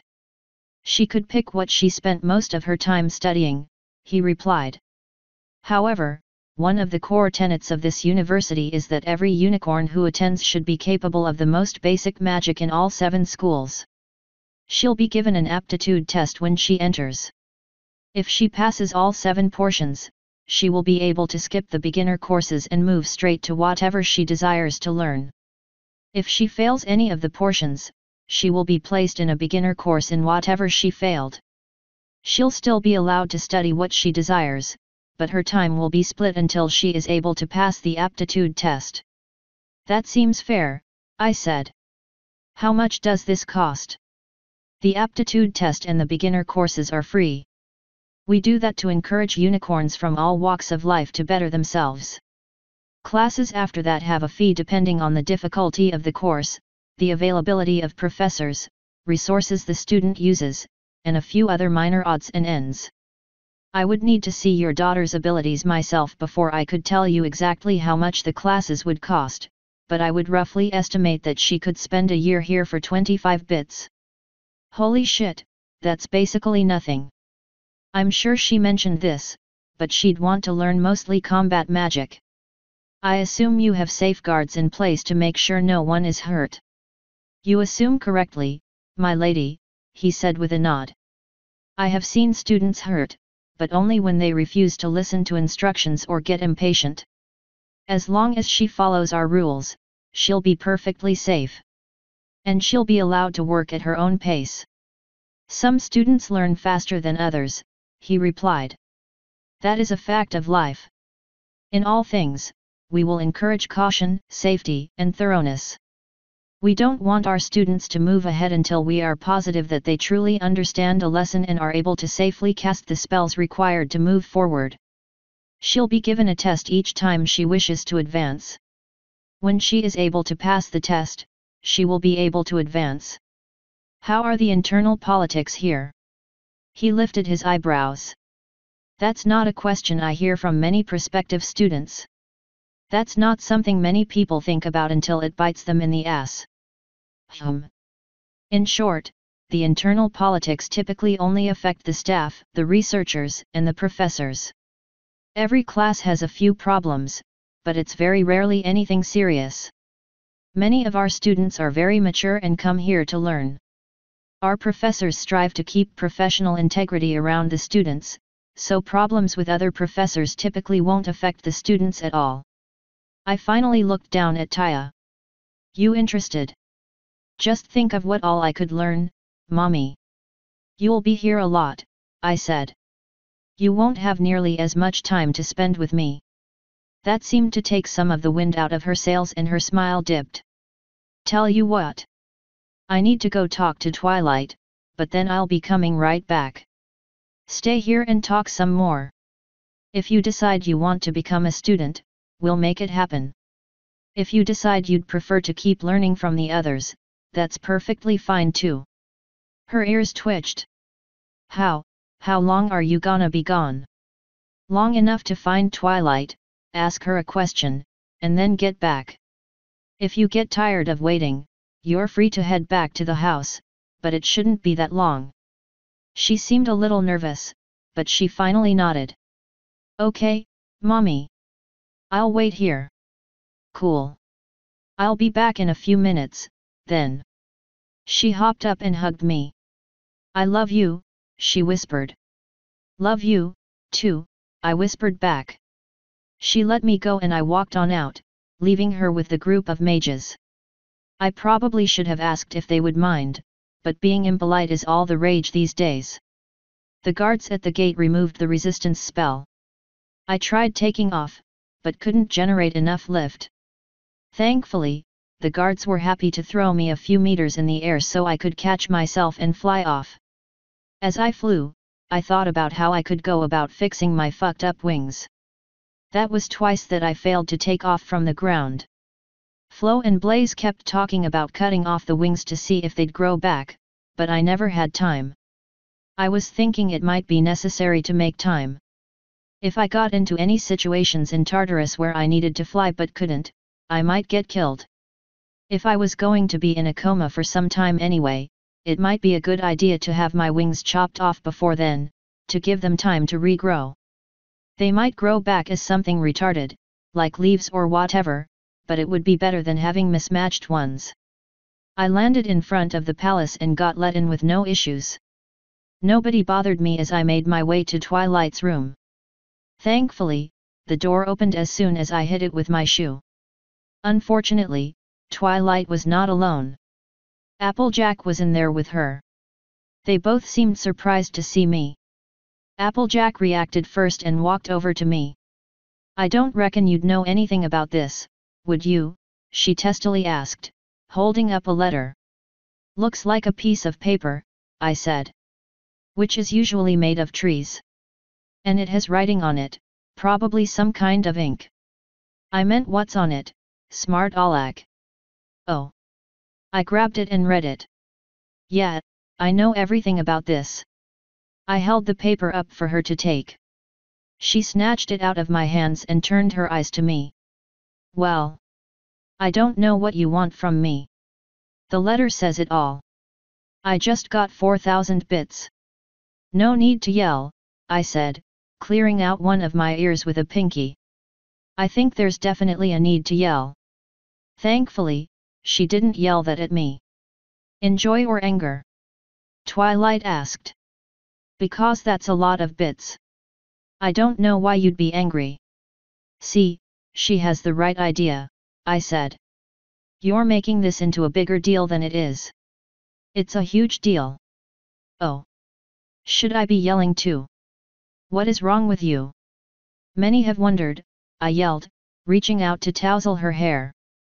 Then I realized she was wearing a hat and pulled my hand back. If you don't want the money, you can just give it back. I'll redistribute your share to the others. She blinked. You're darn right I don't wait, my share. Yet. Everyone on the ship got the same amount. I didn't, Twilight said. You haven't yet, I said. The letters might not have gotten to all of you yet. Silver just finished counting it recently and it probably just got to the bank a few hours ago. Hell, I can't believe Applejack already got a letter about it. But yet, you're all getting the same amount. So is everyone in the crew and all the guards. Applejack leaned back. I, didn't realize that. I reached over and bopped her. You're such a silly pony, Applejack. I reckon that might be so, she said. So uh. Why are we getting this money? That is courtesy of our old friend Reginald, I said. He fucked me over as hard as he could and almost got me raped to death while I was in Iceland, so he decided to give me his hoard by way of apology. I took what I needed to buy a new house and gave the rest to everyone on the ship to use for relaxation money before we head to Tartarus. I got more than enough and figured you guys could use some. That's, almightily generous of you, Nav, she slowly said. She's always been like that with money, Twilight replied. I suppose so, Applejack whispered. Sorry about the lack of details, I said with a shrug. I honestly thought Watcher would hand it out personally, not just give it to the bank. I also thought Rarity would have told everyone in Ponyville, since I told her a few days ago. When you head back to town, let the others know. I've been out of town, Applejack said. So she never got the chance. Are you really sure you want to give me this money? Yet. She waited for more, but none came. Twilight finally smiled. Looks like Granny Smith's getting that hip replacement after all. Buck that. Applejack immediately replied. She's getting an everything replacement. And the farm's gonna get rebuilt and the barns re all getting fixed up and the tools are getting replaced and Apple Bloom's gonna go to a fancy school and... A&D. She hung her head and sniffled. I ain't never had so much money in my life. Be careful with it, I said. You'd be surprised I was interrupted by the heavy mare quickly wrapping herself around me. Applejack actually started crying over my shoulder. Oh boy! Since I'm not as much of an asshole as I used to be, I hugged her back. She was warm, but not that squishy. Twilight was giggling at my predicament, though she was trying to stifle it. Thankfully, it didn't take Applejack too long to get over her little episode. She pulled back from me with a smile and a runny nose, which probably meant that she ruined my nice dress with her snot and tears. That was more of a concern for Rarity, so I didn't worry about it too much. Thank you, Nav. No worries, brah, I said. Why were you so angry when I got here? Well, I thought you were giving me the money, for another reason. I ain't one to be acceptin' no pity and I sure as sure ain't gonna be talkin' no dirty money. Understandable. Want a belly rub to help calm you down? I ain't gonna say no, but... Good. Twilight, can you magic us up a couch? Only if you give me a belly rub, too. Deal, but it'll have to be later. I'm on the clock. No deal, Applejack immediately said.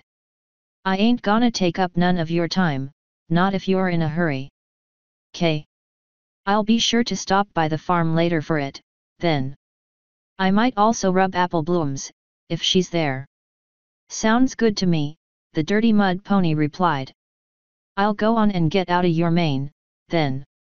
Before Twilight or I could reply, she trotted past me and down the hall, head held high. Such a silly pony, I said, shaking my head. You're pretty silly yourself, Navi, Twilight said. She used magic to float me over and kissed me on the nose. That was really nice of you, too. Calling her silly. Don't make me ravish you. Well, I didn't need the money. Like I told her, everyone on the ship is getting a share. I figured it was only fair. After all, we're risking our lives to save everyone. We might as well get something out of it. And if we all die horrible deaths, we might as well be able to enjoy what little time we have left. Can you put me down now? She set me back on my feet. It makes sense, but that doesn't mean you're any less nice for it. You definitely should have distributed my share out to everybody else, too. I don't need the money either.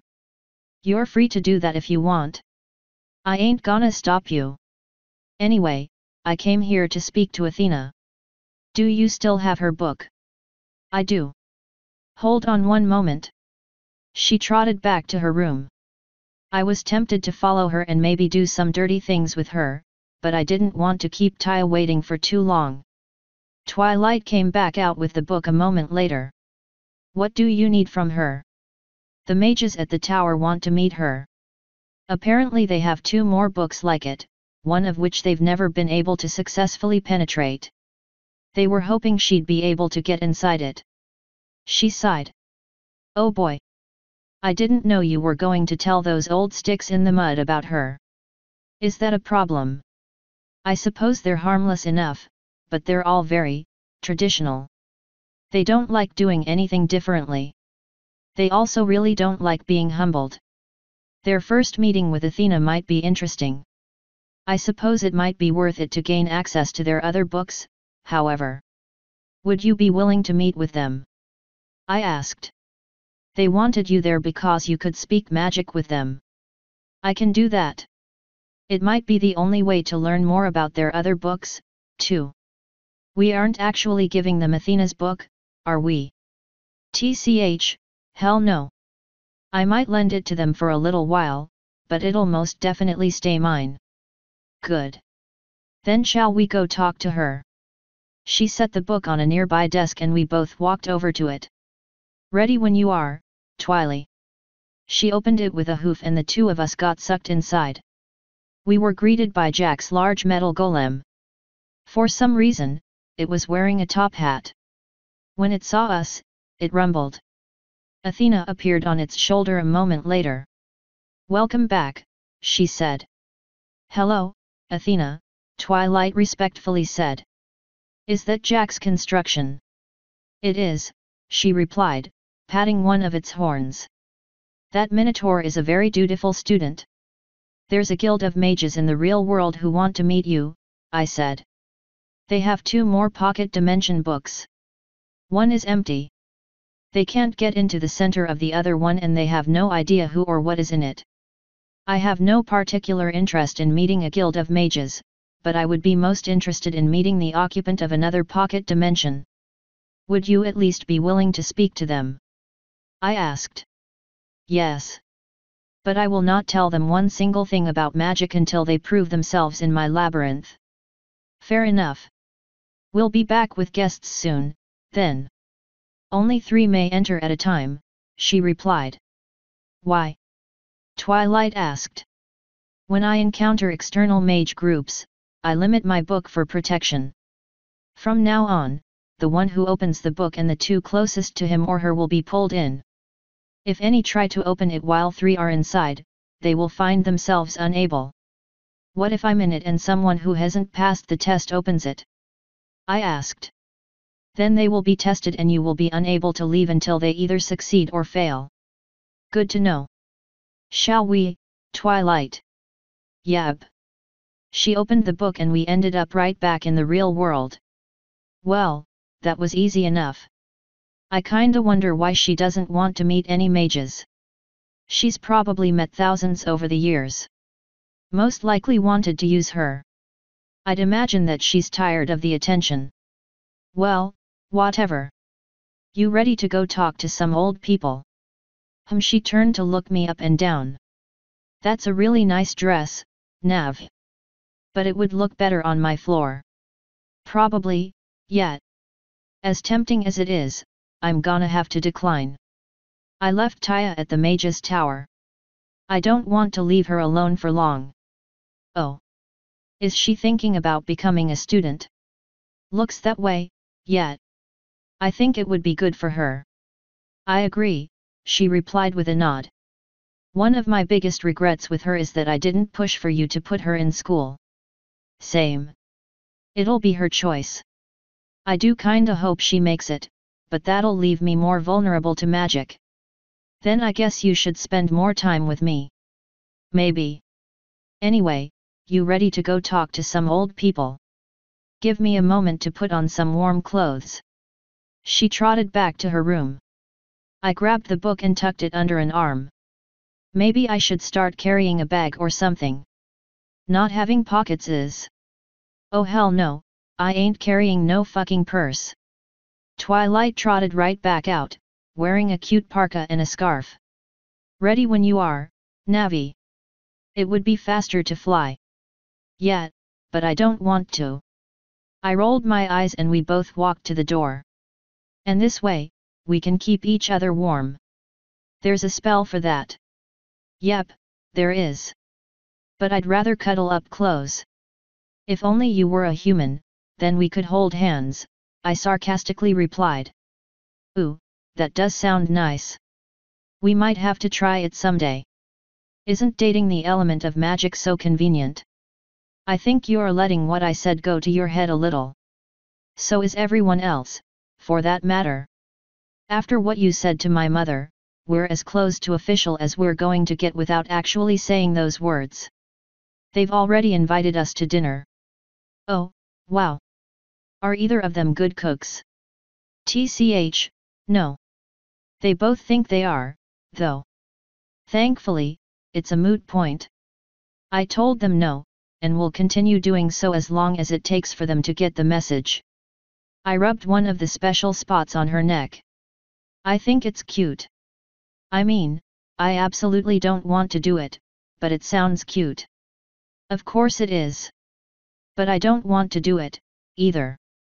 They'd make everything weird and awkward and try to get us to talk about marriage.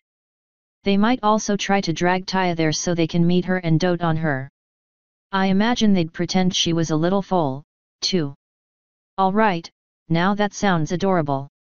Yeah, but not worth the rest of it. They have it in their heads that we're soulmates now. Well, joke's on them, I don't have a soul. We might be clitmates, though. We'll have to rub them together next time to find out for sure. If we are, can we tell your parents? No. Never let me have any fun, I muttered. She smacked me with her tail, but I don't regret it. Despite being forced to walk pressed against a warm and fluffy mare, we made pretty good time to the mage's tower. There weren't too many people out and about, since it was really cold. Honestly, I think Twilight just wanted us to be seen together, because she pulled me closer every time I tried getting some personal space. It was kinda annoying, but cute enough that I let her. The guards gave us a token each and cast more resistance spells on us. We entered the tower as quickly as we could to get out of the cold. I was only slightly alarmed by the fact that Taya wasn't in the entryway anymore. The secretary was still getting chatted up by the same stallion. It seemed like she was resigned to it now, but was still happy to have us as a distraction. She led us over to the teleporter, dropped the coins in, and sent us on our way. This time, all seven of the mages were waiting on us. We're glad to see you back so quickly, Lady Navarone, the guy in red said. And we're even happier to see that you've brought Twilight Sparkle. And a big ass book, I said, holding it up. It's good to stand before the council again, Twilight said. Hopefully it'll go better this time. Athena's agreed to meet with you, I said. She told us that only three people can enter the book at a time. And if anyone enters without one of us, you'll be forced to fight your way in. She would also be extremely interested in speaking with whoever is in the other book you have. Excellent, the head honcho said. If you would be so kind as to take two of us in, Twilight can stay here and speak with us at length about what manner of magic this Athena is capable of. I walked up to him and set the book on the table separating us. So who's going with me? I asked. I believe our two oldest members should have the honor, he said. He teleported over to my side. One of the mares joined us a moment later. We are ready whenever you are, Lady Navarone. How does it feel? the mare nervously asked. Like getting grabbed by a bunch of tentacles and dragged in, I replied. Let's do it. Wait it was too late, I was already opening the book. The tentacles shot out and grabbed the three of us, then sucked us all in. We came face to chest with the giant metal minotaur again. The mare had a hoof pressed against her chest and was gulping in air. The guy in red was looking around in wonder. Neither of them noticed Athena suddenly appearing in front of us. So you did bring them, she said. The two mages immediately looked up at her. You know, I have seen many cultures. Only one of them had powerful mages that were typically very young. All the rest send me their oldest mages. Hum. Welcome back, Navarone. The Dudebro wearing red stepped forward and bowed. It is an honor to meet you, Lady Athena. She stared at the fellow in distaste. I didn't know you were a noble, I said. Such titles are meaningless to me, she replied. I require no land or obeisance. The guy in red straightened back up. Ah, right. This realm is very impressive. The other book we were able to safely enter is nothing like it. Each was unique, she replied. Was there a sign of a struggle in the other realm? It appeared to be purposefully abandoned, he said. There weren't that many relics or books left and it appeared to still be fairly well organized. We believe that the resident of that book may have moved to another. Perhaps. What of the other book? We've sent in three parties since it was found, around 700 years ago. None have returned. It was locked in a vault with our most dangerous artifacts. Athena's head tilted and we all appeared under the balcony. The two mages gasped. A chair appeared behind Athena and she sat. You risk meddling in things that you do not understand, she said. Celestia has hidden knowledge of real magic for a very long time. She would not be happy to find that you are speaking to me. Her destruction of knowledge was not complete, the mare quietly said. We knew there was something that we had forgotten, but we did not know what. With your help, we hope we can discover it again. That is quite a thing to say in front of her lover, Athena said.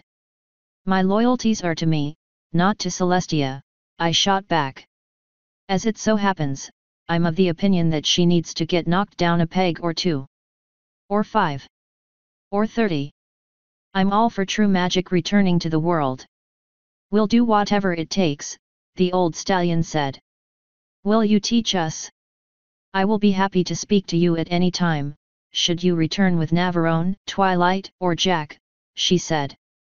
But if you want to learn from me, you must pass my test. To become my students, you must prove that you are capable of surviving my labyrinth. If you seek to know the power that I offer, ask Navarone. She has seen some of it firsthand and has a true magic primer. Their eyes slowly turned to me. I shrugged. They looked back at her. Can you give us more details about this labyrinth? the mare asked. Yes. They waited a few more seconds before the mare gently cleared her throat. Will you? No. They looked back at me. I shrugged again. They sighed and returned their gazes to the main attraction. So what will you tell us? I would be willing to tell you quite a lot, she said. However, you would find most of it worthless. When you have completed my test, I will be happy to answer your questions about magic. Until then, you are of no use to me. I'll give you a freebie, I said. You remember that huge metal statue we saw when we first got in? That was made by a Minotaur smith who she taught runes. The golem is fully functional and has all kinds of neat abilities. He's working on another one now. Would he be interested in joining us at the tower?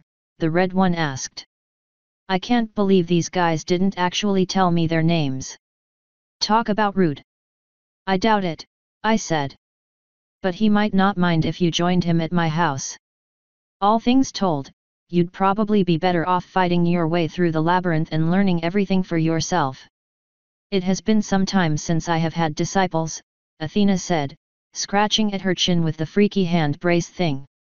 Navarone and Twilight Sparkle have not been overly interested in being my hands in the real world. With some assistance, I could stretch my power once more. We could accomplish truly great things together, if you prove yourself capable learners. With your knowledge, we could expand our own power, the guy in red said. Our spells are extremely limited. We believe what you teach us could open doors that were long thought permanently sealed. Perhaps. Such alliances tend to be mutually beneficial for a time. It will make Discord take note of you, however. And those he takes note of tend to die very horrible deaths. Well, if they're lucky. The pursuit of knowledge is always risky, he replied.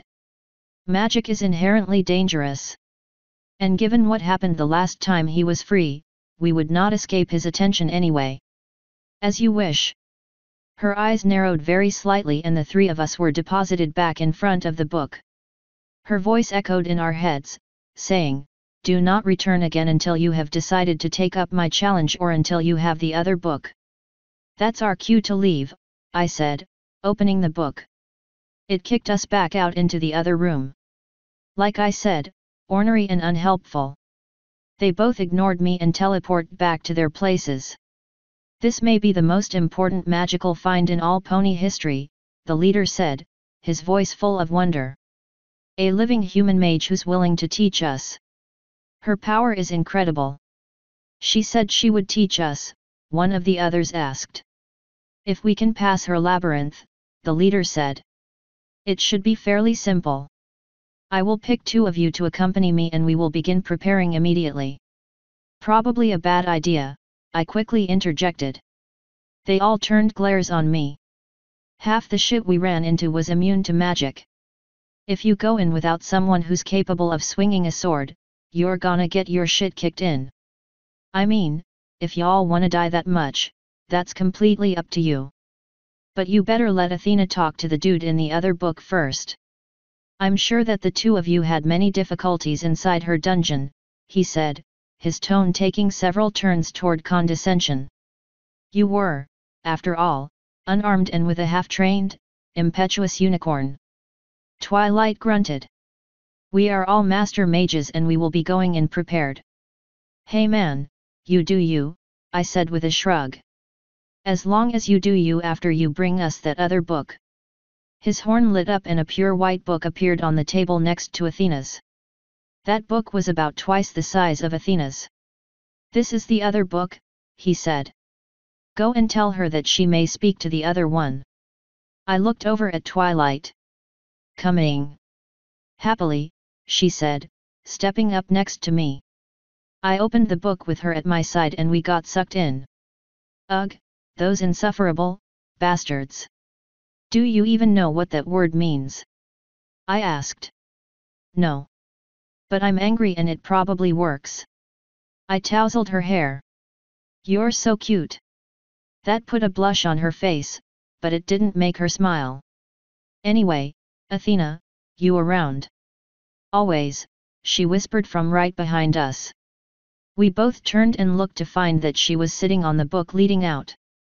I feel another book of power nearby. Yep, it's sitting right next to the table. Excellent. She looked down at Twilight. Make our books face each other, then open them. She slid off the book and grabbed my shoulder. You will join me. Um. Do you know this person? I have no idea who it is. I do hope he or she is friendly. She yanked me back with a strangely powerful grip and looked at Twilight again. Are you still here? Why does Nav get to stay? she asked. Because I want to show her off. The first human in eons and I saw her first. Even if Discord made me. I asked. Details, Athena said, waving a hand. Leave us, Purple One. Twilight seemed very uncertain and looked at me for direction. All I could do was shrug. She sighed and opened the book, sending her back. So who are you expecting? I asked. Most of the gods that you know of were the same entities across various cultures. There were generally gods of war, love, knowledge, power, death, crafting, nature, and more. I built a few books of this type for some of my fellows, but it's possible that other cultures had the same idea. It's probable that it will be somebody that I know, but it's possible that it won't. Isn't it exciting? What if they're hostile? That's the exciting part.